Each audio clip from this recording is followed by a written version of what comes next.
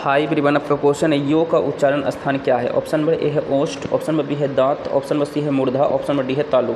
तो योग का उच्चारण स्थान तालु है, option number D is correct answer. So thank you like share and subscribe so thank you